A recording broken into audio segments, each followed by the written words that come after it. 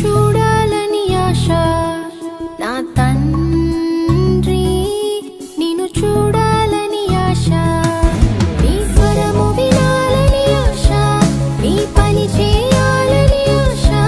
నీకిష్టమై పోవాలని ఆశ నాలో. మన ప్రభు అయిన యేసుక్రీస్తు నామములో ఆయన సన్నిధికి వచ్చిన మీ అందరికీ నా వందనాలు చెల్లిస్తున్నాను. ప్రిలరా దైవ సన్నిధిలో ప్రార్థన చేసుకుని దేవుని వాక్యాన్ని మనందరం కూడా కలిసి ధ్యానం చేద్దాం. తలలో ఉంచండి.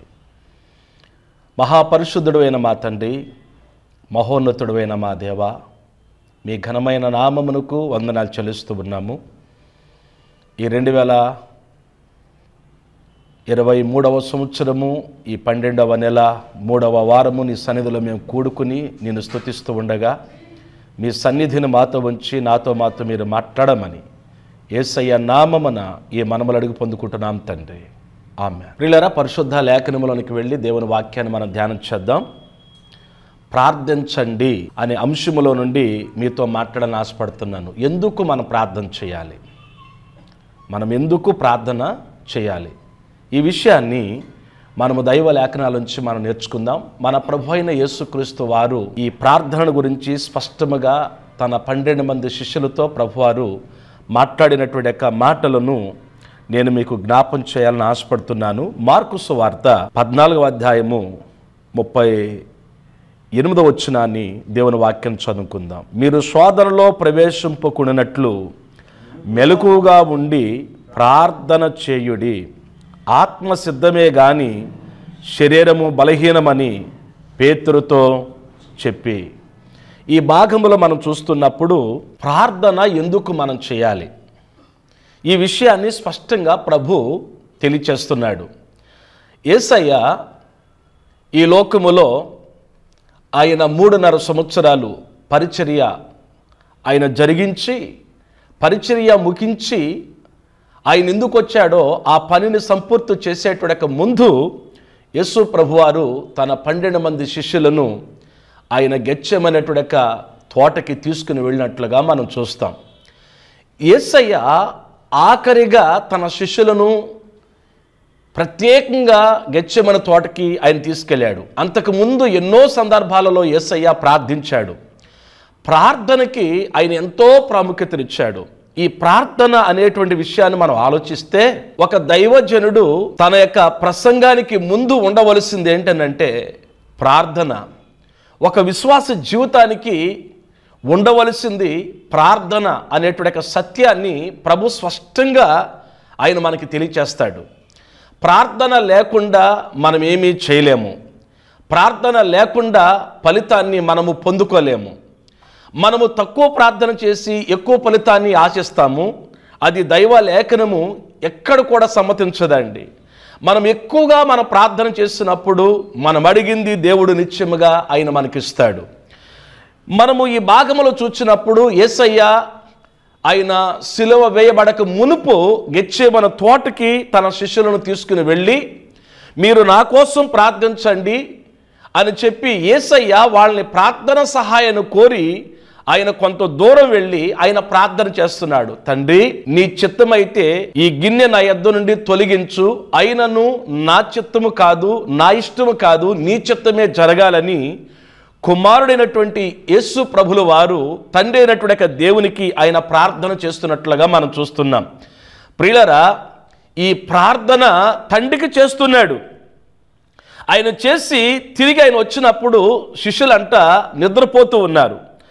బైబిల్ ప్రకారంగా మనం చూసినట్లయితే నిద్రించుచున్న నీవు లెమ్ము అని దేవుని యొక్క వాక్యములు వ్రాయబడి ఉన్నది. వారు ఏం చేశారు? నిద్రపోతూ ఉన్నారంట. ముప్పై ఏడో వచ్చినాను మనం చదివినప్పుడు మరలా ఆయన వచ్చి వారు నిద్రించుట చూచి సిమోను నీవు నిద్రించుచున్నావా? ఒక్క గడి అయినను మేలుకుని ఉండలేవా? అంటే మీరు గమనించండి ప్రభు స్పష్టంగా చెప్తున్నాడు ఒక్క గడియలను మీరు మేలుకుని ప్రార్థించలేరా? ఈ మాట దేవుని బిడ్డలమైన మనకి ఇది ఎంతో సవాలుతో కూడిందండి. మనము ప్రభు సన్నిధిలో మనం ప్రార్థించే వారంగా ఉండాలి. ఎప్పుడైతే మనము ప్రార్థన చేస్తామో ఆ ప్రార్థన ద్వారా మనం ఫలితాన్ని మనం అనుభవిస్తామండి. ఈరోజు వ్యక్తిగతంగా కుటుంబములో సంఘములో కొదువైంది ఏంటనంటే ప్రార్థన. ఈ ప్రార్థన అనేటువంటిది ఈ రోజు కొదువైపోయింది. ప్రార్థించే ప్రార్థన యోధులు ఈ రోజు మనకి కనబడట్లేదు. ప్రభు అంటున్నాడు ఒక్క గడి అయినను మేలుకుని నువ్వు ప్రార్థించలేవా సిమోను పేతురు? అని అంటున్నాడు. ఈరోజు నాతో మీతో మనందరితో దేవుడు చెప్తున్న మాట మీరు ప్రార్థించండి. నీవు పట్టుదలతో ప్రభు పాదాల దగ్గర ప్రార్థించు. ఆ పట్టుదలతో కూడిన ప్రార్థన నిన్ను బలహీనతలోనికి వెళ్ళనివ్వదు. ఆ పట్టుదలతో కూడినటువంటి ప్రార్థన నిన్ను కృంగనివ్వదు. నిన్ను కలవరములోనికి వెళ్ళనివ్వదు. ఈ ప్రార్థన నువ్వు చేస్తూ ఉన్నప్పుడు ఈ ప్రార్థన నిన్ను శోధలోనికి వెళ్ళనివ్వకుండా చేస్తుంది అనే మాట ప్రభు ముప్పై ఎనిమిది వచ్చిన స్పష్టంగా చెప్తాడండి. మీరు శోధనలో ప్రవేశింపుకున్నట్లు మెలకుగా నుండి మీరు ప్రార్థన చేయుడి. ఎంత చక్కటి మాట ప్రభు ఇక్కడ చెప్తున్నాడు. ఈరోజు దేవుని బిళ్ళారా నమ్మకముతో కూడిన ప్రార్థన విశ్వాసముతో కూడినటువంటి యొక్క ప్రార్థన ఈరోజు ఉండలేదు గనుక ఈరోజు సంఘాలు బలహీనమవుతున్నాయి. ఈరోజు క్రైస్తవ కుటుంబాలు కూడా దేవుని యొక్క సన్నిధిలో పొందుకోవలసిన అద్భుతాలు కార్యాలు ఈరోజు పొందుకోకపోవటానికి గల కారణం ఏంటనంటే మనము దేవుని సన్నిధిలో ప్రార్థన చేయకపోవటం దేవుని మనం అడకపోవటం అనే విషయాన్ని మనం గుర్తించాలి. ఒక్క గడియను మేలుకొని మీరు ప్రార్థన చేయలేరా? మన ప్రార్థనలో ఉండవలసింది నమ్మకం. మన ప్రార్థనలో ఉండవలసింది విశ్వాసం. ఎప్పుడైతే మన ప్రార్థనలో ఈ నమ్మకము ఈ విశ్వాసం ఉంటుందో ఆ విశ్వాసంతో కూడినటువంటి ప్రార్థన ద్వారా మనం కార్యాలు చూడగలుగుతామనేటువంటి విషయాన్ని మనం గుర్తించాలండి. ఎస్ఐ చెప్తున్నాడు ఒక్క గడియను మేలుకుని ప్రార్థన చేయలేవా? సిమోను ఇంకా నిద్రపోతావా? ఒక్క గడియను మేలుకుని ప్రార్థించలేవా? అని ప్రభు అంటున్నాడు. ఆ మాట పేతృతో చెప్పి మళ్ళీ వెంటనే పన్నెండు మందితో అంటున్నాడు మీరు సోదరులో ప్రవేశింపకున్నట్లు మెలకుగా ఉండి మీరు ప్రార్థన చేయుడి. ఈరోజు దేవుడు మనతో మాట్లాడుతున్నాడు. క్రమేణ క్రమేణా స్- కుటుంబాల్లో కూడా ప్రార్థించేటువంటి తల్లులు ప్రార్థించేటువంటి తండ్రులు కూడా ఈరోజు ప్రార్థన క్రమాన్ని విడిచిపెట్టేస్తున్నారు. ప్రార్థన లేకపోతే మనము శోధించబడతాం. ప్రార్థన లేకపోతే సాతానుడు మనం బలహీనపరుస్తాడు. ప్రార్థన లేకపోతే మన విజయాన్ని చూడలేం. ఎంతోమంది భక్తులు మోకాళ్ళ మీద ఉండి ప్రార్థించి దేవుని యొక్క సన్నిధానంలో జవాబు పొందుకున్నారండి. ఈరోజు దేవుడు మాట్లాడుతున్నాడు శోధనలో ప్రవేశింపకుండా మీరు ప్రార్థించండి. ఎందుకు మనం ప్రార్థన చేయాలంటే శోధనలోకి వెళ్ళిపోకుండా మనం ప్రార్థన చేయాలంట. ఇంకెందుకు ప్రార్థన చేయాలో తెలుసా? బైబిల్ గ్రంథంలో మనం చూసినట్లయితే ఇరిమియా గ్రంథములో ఇరిమియా ప్రవక్త ద్వారా దేవుడు ఇస్రాయల్ యొక్క ప్రజలతో మాట్లాడిస్తూ ఉన్నాడండి. మనము ఇర్మియా గ్రంథంలోనికి ఒక్కసారి మనం వెళ్ళి తొమ్మిదవ అధ్యాయము. మనందరికీ తెలిసినటువంటి భాగములో నుంచి తొమ్మిదవ అధ్యాయము. ప్రభు యొక్క వాక్యాన్ని మనం చదువుదాం. ఇరవై వచ్చును ఇరవై ఒకటి వచ్చును చదువుదామండి స్త్రీలారా యెహోవా మాట వినుడి. మీరు సెవియొగ్గి ఆయన నోటి మాట ఆలకించుడి. మీ కుమార్తెలకు మీ కుమార్తెలకు రోదనము చేయ నేర్పుడి. ఒకరికి ఒకరు అంగలార్పు విద్య నేర్పుడి. వీధులలో పసిపిల్లలు లేకుండానను రాజమార్గములు రాజమార్గములలో యవనులు లేక యవనులు లేకుండా వారిని నాశనము చేయటకై మరణము మన కిటికీ లేకొచ్చున్నది గమనించారా? ఈ రోజు సాతానుడు ప్రతి చిన్న బిడ్డలను ప్రతి యవన బిడ్డ యొక్క జీవితాన్ని సమూల నాశనం చేయడానికై వాడు తిరుగుతూ ఉన్నాడండి. వీధుల్లో పసిపిల్లలు లేకుండా రాజమార్గములు ఎవరస్తులు లేకుండా వారిని నాశనము చేయటకాయ మరణము మన కిటికీలు ఎక్కుచున్నది. ప్రియా దేవుని బిళ్ళారా గమనించండి. ఏసయ్య స్పష్టంగా చెప్తున్నాడు. మీరు ప్రార్థించండి. శోధనలోకి వెళ్ళిపోకుండా ప్రార్థించండి. శోధన మీ యొక్క ఇంటిలోనికి రాకుండా మీ బిడ్డల మీదకి కీడు రాకుండా మీరు దేవుని యొక్క సన్నిధిలో మీరు మెలకుగా ఉండి ప్రార్థించండి అని దేవుడు మాట్లాడుతూ ఉన్నాడు. ఈరోజు శోధనలు ఎదుర్కొంటూ నష్టపోవటాకైనా ఇష్టపడుతున్నారు కానీ ప్రభు పాదాల దగ్గర కూర్చుని కనిపెట్టి ప్రభు పాదాల దగ్గర ప్రార్థించే అనుభవంలోనికి ఈ రోజు రాలేకపోతూ ఉన్నారు. దేవుని బిళ్ళరా ఒక ఆశ మనలో పుట్టాలి ఒక కోరిక మనలో పుట్టాలి. నేను ప్రార్థించాలి నేను ప్రభు సన్నిధిలో ప్రార్థించాలి శోధను జయించాలి మరణాన్ని జయించాలి. నా కుటుంబాన్ని నేను కాపాడుకోవాలి. నా ఆత్మీయ జీవితం నేను కాపాడుకోవాలి అని చెప్పి ప్రతి ఒక్కరిలో కూడా ఒక కోరిక పుట్టాలండి. ఒక తలంపు పుట్టాలండి. ఒక ఆశ మనలో ఉండాలండి. ఈరోజు ప్రార్థన చేసేటువంటి ఒక ఆశ ఈరోజు కనబడట్లేదు. అందుకే ఈరోజు అనేక కుటుంబాలు ఎన్నో శోధనలు ఎదుర్కొంటూ ఉండటం మనం చూస్తూ ఉన్నాం. ఎన్నో రకాల అనేక శోధనలు ఎదుర్కొంటూ ఉన్నారు. ప్రభు చెప్తున్నాడు మీరు శోధనలో ప్రవేశింపకుండా మీరు మెలకువతో ఉండి ప్రార్థన మీరు చెయ్యండి అన్నాడు. దేవుని బిళ్ళారా ఈ ప్రార్థన అనేటువంటి ఆసక్తి మనలో పుట్టాలండి. ఆ ఆసక్తి మనల్ని భక్షించాలి. ఆ కోరిక ఆశ మనలో పుట్టాలి. శారీరకంగా ఆకలి పుట్టకపోతే తేడా ఉందని అర్థం. ఆ వ్యక్తి ఖచ్చితంగా హాస్పిటల్కి వెళ్ళి చూపించుకోవాలి. ఈరోజు నీకు ఆత్మ సంబంధమైనటువంటి ఆ ఆకలి ఆ ఆశ నీలో లేకపోయినట్లయితే నువ్వు చాలా ఆత్మీయంగా దెబ్బతింటున్నావు అనే విషయాన్ని గుర్తించమని దేవుడు మాట్లాడుతున్నాడు.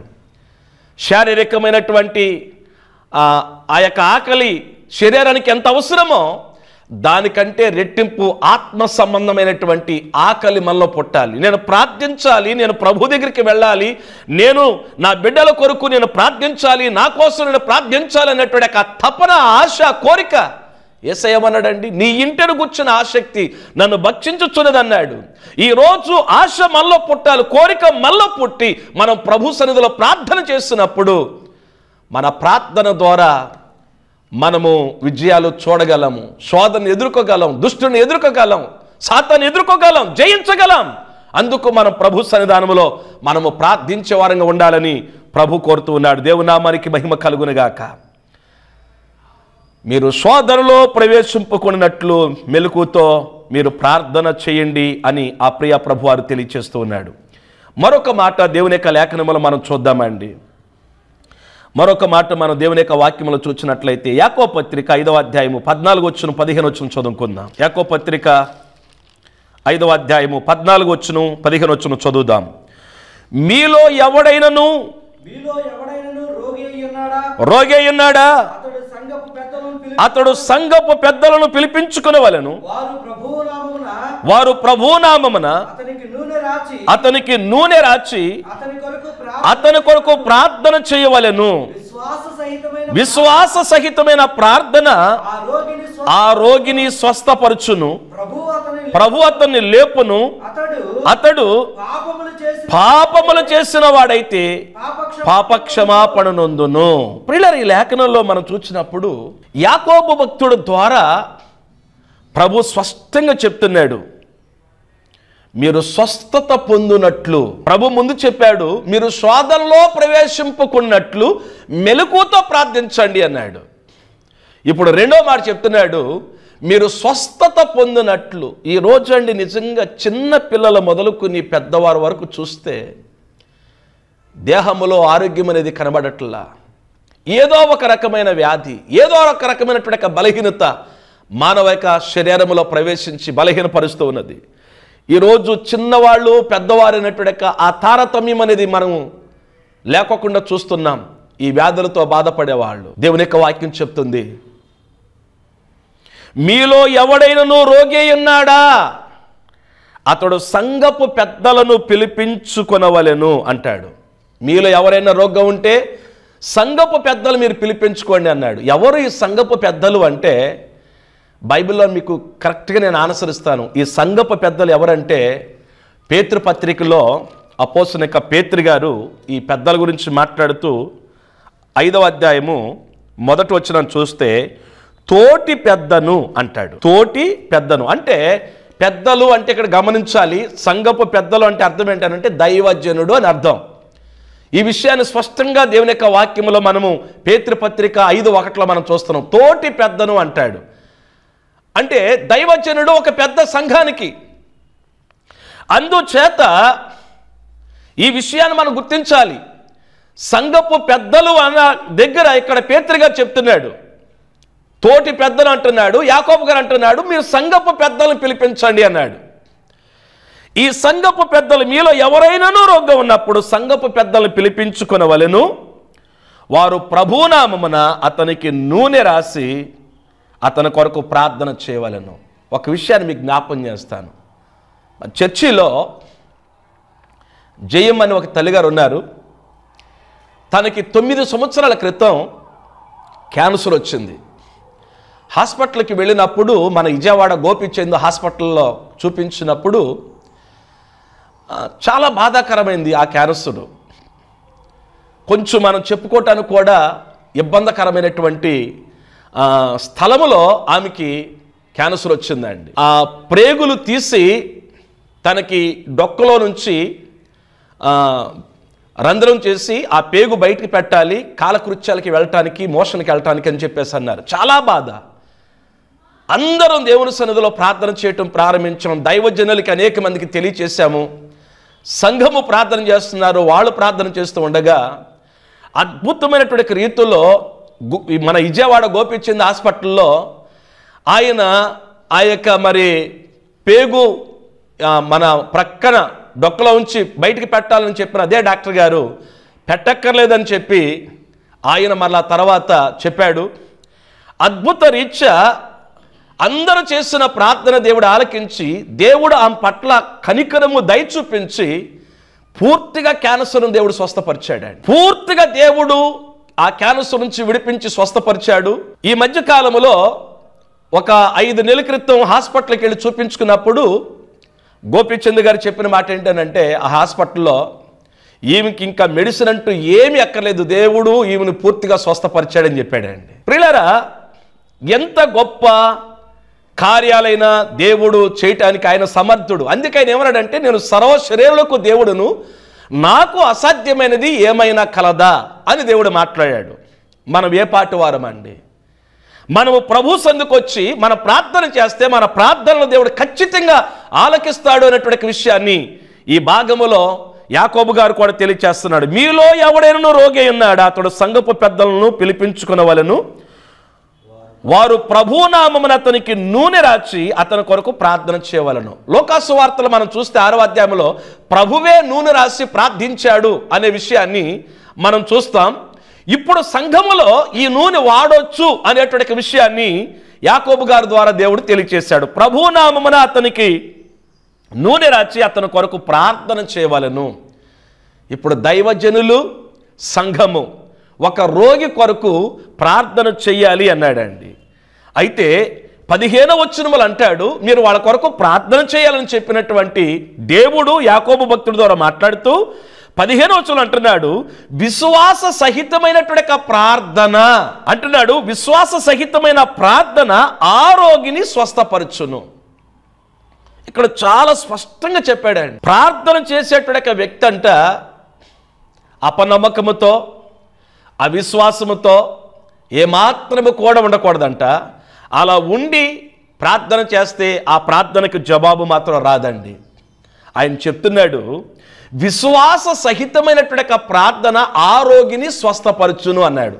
ప్రార్థన చేసేటువంటి వ్యక్తికి ఉండవలసింది ఏంటనంటే విశ్వాసము నిరీక్షణ ఇది ఉండాలి దేవుడు ఖచ్చితంగా స్వస్థపరుస్తాడు. అనేటువంటి విశ్వాసము అలాగే నిరీక్షణ నిరీక్షించాలి. దేవుడు కార్యం చేసే వరకు దేవుడు స్వస్థపరిచే వరకు నిరీక్షించాలి. విశ్వాసం అనేటువంటిది సన్నగలకూడదు. మనము విశ్వాసము ఉంచినప్పుడు దేవుడు కార్యం చేస్తాడు. అందుకే ప్రభు ఒక వ్యక్తి తన కుమారుడికి బాగోనప్పుడు ప్రభు దగ్గరికి తీసుకొచ్చి అంటున్నాడు ప్రభువా నీ వల్ల అయితే నా కుమారుని బాగు చేస్తావంటే ప్రభు అన్నాడు. నమ్మటము నీ విశ్వాసం అయితే నమ్ము ప్రతివానికి సమస్తము సాధ్యమే అన్నాడు ఆయన. లాజరు చనిపోయాడు. నాలుగు రోజులైంది. వార్త వెళ్ళింది ప్రభు దగ్గరికి. వెళ్ళిన ఆయన ఆలస్యం చేశాడు. ఎందుకో తెలుసా? తన కార్యాన్ని ఆయన జరిగించటానికి వరకు. ఆయన ఆలస్యం చేశాడు. ప్రభు వచ్చినప్పుడు మార్తా మరియలు ఏడుస్తూ ఉన్నారు. ప్రభు నీవు ఇప్పుడైనను నువ్వు నమ్మిన ఎడల దేవుని మహిమను చూస్తావన్నాడు. నమ్ముచున్నాం ప్రభు అన్నారు. పదండి వెళదామని చెప్పి చనిపోయిన వ్యక్తిని ఆయన బ్రతికించినట్లుగా మనం చూస్తున్నాం. గనుక ప్రార్థన శోధనలోకి వెళ్ళిపోకుండా మనల్ని కాపాడుతుంది. శోధనలు రాకుండా కాపాడుతుంది. ఇప్పుడు రెండవది ప్రార్థన ఎందుకు చేయాలంటే మనమంట స్వస్థత కొరకు మనము ప్రార్థన చేయాలి అని చెప్తున్నాడు. నూనె రాసి ప్రార్థించండి విశ్వాసముతో ప్రార్థించండి అన్నాడు ఇక్కడ. అతనికి నూనె రాయండి నూనె రాసి ప్రార్థించండి విశ్వాసముతో ప్రార్థించండి అప్పుడు ఆ రోగి స్వస్థత పొందుకునను అనే మాట మనం చూస్తున్నాం. ప్రియులరా స్వస్థపరిచేటువంటి శక్తి ప్రభుకుంది ఆ స్వస్థత పొందుకునే వ్యక్తికి విశ్వాసం ఉండాలి ప్రార్థించే వ్యక్తికి విశ్వాసం ఉండాలి అని చెప్తున్నాడు. అందుచేత మనమందరం ఇంకొక మాటలో చెప్పాలంటే అండి పూర్వం ఇన్ని హాస్పిటల్ లేవు కదా అప్పుడు అందరూ దేని మీద విశ్వాసం ఉంచేవాళ్ళంటే దేవుని మీద విశ్వాసం ఉంచేవాళ్ళు.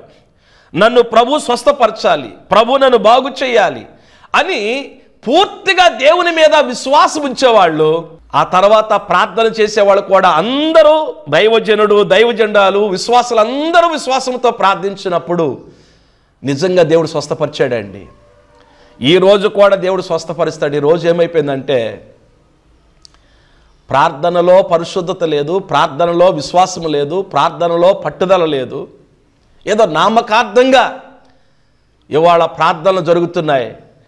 దేవుడు కార్యము చేయుడు అని మనం అన్నామంటే మనము దేవుడికి శక్తి లేదు అనే కదా మనం అనేది ఆయన నిన్న నేడు నిరంతరము ఏకరీతిగా ఉన్న దేవుడు మార్పు లేని దేవుడు పాత నిబంధనలు అద్భుతాలు చేసిన దేవుడు కొత్త నిబంధనలు అద్భుతాలు చేసిన దేవుడు ఇప్పుడు పరిశుద్ధాత్మ కాలములో అద్భుతాలు జరగవా? తండ్రి దేవుడు ఆది కాండము నుంచి మలాకి గ్రంథం వరకు అద్భుతాలు చేశాడు. మత్స్సు వార్త నుంచి ఏమండి?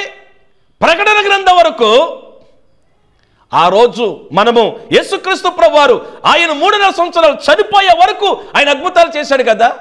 ఆ తర్వాత మరి పరిశుద్ధాత్మ దేవుని పంపించాడు. ఇప్పుడు పరిశుద్ధాత్మనిక ద్వారా మనము ప్రార్థన చేస్తున్నప్పుడు అద్భుతాలు జరగవా? స్వస్థతలు జరగవంటే ఖచ్చితంగా జరుగుతాయి. జరగలేదు అంటే అది మన బలహీనతను గుర్తించాలే తప్ప ఆయన అన్నాడు నాకు అసాధ్యమైనది ఏమైనా కలదా అని చెప్పి.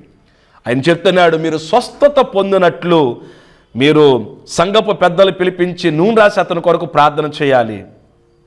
విశ్వాస సహితమైన ప్రార్థన ఆ రోగిని స్వస్థపరచును. ప్రభువు అతన్ని లేపును అన్నాడండి. ప్రభు అంట ఆ రోగిని లేపుతాడంటండి. లేపేవాడు దేవుడు. బలపరిచేవాడు దేవుడు. బాగు చేసేవాడు దేవుడు. అందుచేత ఆయన లేపును అన్నాడు. అతడు పాపములు చేసిన వాడైతే పాపక్షమాపణ కలుగును అన్నాడు. ఒకవేళ పాపము చేస్తుంటే పాపక్షమాపణ కలుగుతుంది అనే మాట ఆయన తెలియచేశాడు. ప్రియ దేవుని బిళ్ళరా ఇంకా మనం దేవుని యొక్క లేఖనాన్ని మనం చూసినట్లయితే మరొక మాట పరిశుద్ధ లేఖనమును మనం చూద్దామండి. మొదటి తిమోతి పత్రిక రెండవ అధ్యాయము దేవుని యొక్క వాక్యాన్ని మనం చూద్దాం. మొదటి తిమోతి పత్రిక రెండవ అధ్యాయము ఒకటో వచనము నుండి మనము రెండో వచనాలు చదువుదామండి. మనము సంపూర్ణ భక్తి సంపూర్ణ భక్తియు మాన్యతయు కలిగి మానితియు కలిగి నెమ్మదిగాను సుఖముగాను బ్రతుకు నిమిత్తం బ్రతుకు నిమిత్తము అన్నిటికంటే అన్నిటికంటే ముఖ్యముగా మనుషులందరూ కొరకును రాజుల కొరకును అధికారులు అధికారుల కొరకును విజ్ఞాపనములను ప్రార్థనలను యాచనలను కృతజ్ఞతాస్థుతులను చేయవలని హెచ్చరించుచున్నాను. అపోసుడు యొక్క పౌలు తన ఆత్మీయ కుమారుడైనటువంటి తీమోతికి ఈ ఉత్తరాన్ని రాస్తూ తన ద్వారా రక్షింపబడినటువంటి తీమోతికి ఈ ఉత్తరాన్ని రాసి ఆయన మాట్లాడుతున్నాడు మనము సంపూర్ణ భక్తియు మాన్యతయు కలిగి నెమ్మదిగా అంటే చూడండి ఈ లోకములో ఉన్నప్పుడు మనము నెమ్మదిగా సుఖముగా బ్రతుకు నిమిత్తము అన్నిటికంటే ముఖ్యముగా మనుషులందరి కొరకు రాజుల కొరకు మీరు ప్రార్థన చేయండి అన్నాడు.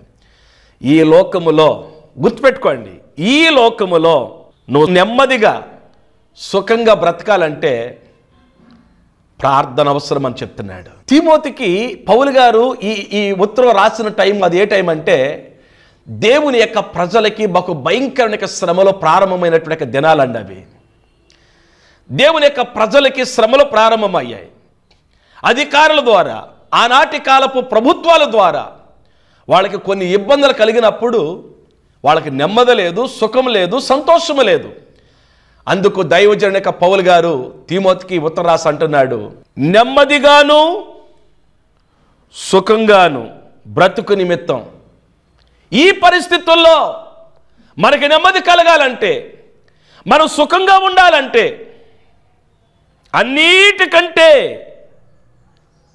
ముఖ్యముగా అన్నిటికంటే ముఖ్యముగా అంటే అర్థం తెలుసా? ప్రార్థన ప్రాముఖ్యమైందని చెప్తున్నాడు అండి అన్నిటికంటే ముఖ్యముగా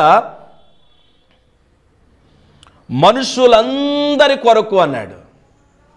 క్రైస్తవుడు చేయవలసిన పనిదండి ప్రతిరోజు భారతదేశము కొరకు మన రాష్ట్రము కొరకు మన జిల్లాల కొరకు మన పట్టణాల కొరకు మన గ్రామాల కొరకు. ఎన్నెన్నో అవసరాలు ఉన్నాయి వాటన్నిటి కొరకు మనుషులందరి కొరకు విజ్ఞాపనములను విజ్ఞాపనములంటే వేరే వారి కోసం మనం చేసేది విజ్ఞాపన. ఇతరుల కొరకు ఇతరుల యొక్క భక్తి ఎలాంటిదో మనకి తెలియకపోవచ్చు కానీ మనకు ఒక చక్కటి భక్తిని నేర్పించాడు. ఈ భక్తిలో ఉన్నటువంటి మూలాధారం ఏంటి తెలుసా? ఇతరుల కొరకు మనము విజ్ఞాపన చేయటం ఇతరుల అవసరాల కొరకు ప్రార్థన చేయటం ఇతరుల మేలు కొరకు ప్రార్థన చేయటం ఇతరుల యొక్క రక్షణ కొరకు ప్రార్థన చేయటం మనుషులందరి కొరకును రాజుల కొరకును అధికారుల కొరకును రాజుల కొరకు.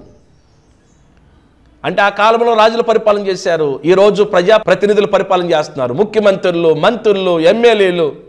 మనము వీళ్ళందరి కొరకు గ్రామంలో ఉన్నటువంటి సర్పంచుల కాడి నుంచి వార్డు నెంబర్ల నుంచి గ్రామ పెద్దల నుంచి మండల అధ్యక్షుల వరకు జిల్లా అధ్యక్షుల వరకు అందరి కొరకు ఎంపీలు ఏమండి? ప్రధానమంత్రి కొరకు అందరి కొరకు ప్రార్థన చేయవలసినటువంటి బాధ్యత మన మీద దేవుడు పెట్టాడు. మనము సుఖముగాను నెమ్మదిగాను నెమ్మదిగా సుఖంగా బ్రతుకు నిమిత్తము వీళ్ళందరి కొరకు రాజుల కొరకు అధికారుల కొరకు. మనమంట ప్రార్థనలు విజ్ఞాపనం చేయాలంట. దేవుని బిడ్డారా గుర్తుపెట్టుకోండి. ఉందా ఈరోజు ప్రార్థన? ఒకప్పుడు గంటల తరబడి ప్రార్థన చేశాం. ఒకప్పుడు దేవుని కొరకు సమయాన్ని కేటాయించుకుని అవసరమైతే అన్నపానములు మానేసి ఉపవాసం నుండి ప్రార్థన చేసిన అనుభవాలు లేవా? ఈ రోజు ఉందా ఈ అనుభవం? ఈ రోజు నిజంగా ఉపవాస అనుభవం ఉందా? ఈ రోజు నిజంగా మోకాళ్ళ అనుభవం ఉందా? ఈ రోజు నిజంగా పట్టుదలతో కూడిన ప్రార్థన అనుభవాలు ఈ రోజు ఉన్నాయా?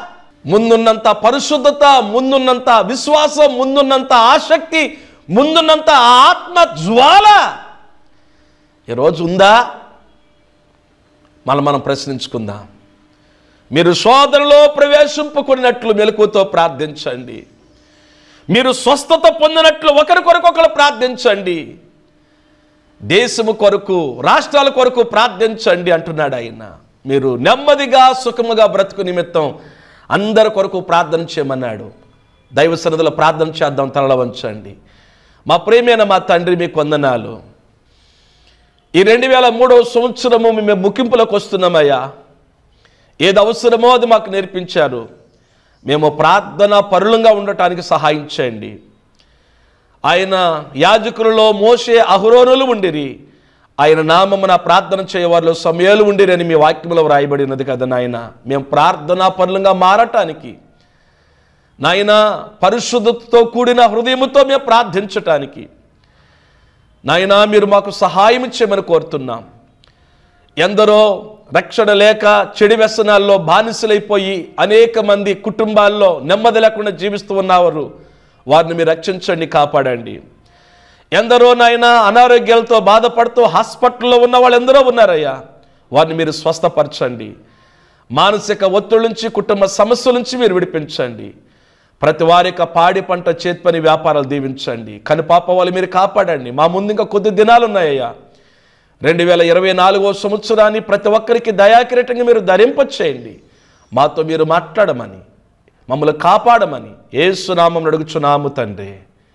ఆమె తండ్రి అయిన దేవుని ప్రేమయు ప్రభును రక్షకుడైన యేసుక్రీస్తు వరకు దివ్య కృపయు పరిశుద్ధాత్మ దేవుని అన్యోన్య సహవాసము సమాధానం కూడిన మనకు నేను వెంబడిస్తున్న సకల భక్తులకు మన రాష్ట్రానికి మన దేశానికి తోడయుండి కాపాడునుగాక. ఆమె